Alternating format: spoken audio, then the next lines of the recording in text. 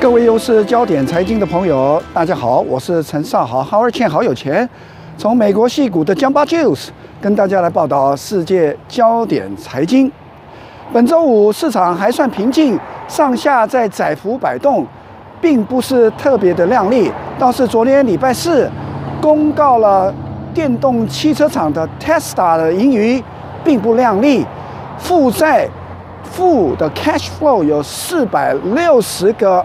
Million 有四亿六千万的 negative 的 cash flow，令市场非常的惊讶，所以 Tesla 重挫了将近七个 percent，反而两个赌场股 MGM 跟 Wayne 倒是照好，在逆势当中稍微上涨，所以市场到目前为止走到一半都有盈余的危机，所以我们就来谈谈今天周五这家公司。Jamba Juice，你过去来过这家公司吗？Jamba Juice 喝一杯清凉可口的 beverage 吗？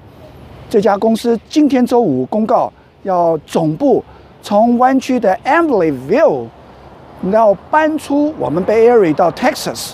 Wow，！湾区另一外一家公司 Jamba Juice 要离开我们湾区到德州。德州是过去五十州里面最 business friendly 的一个州。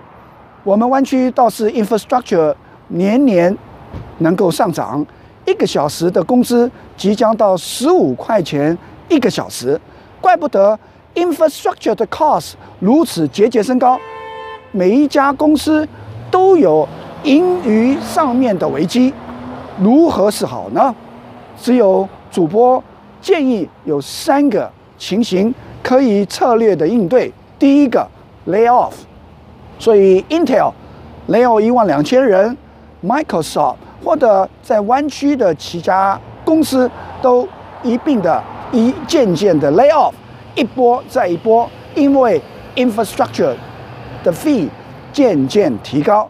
第二，你就自动化、合理化，这个能够帮助。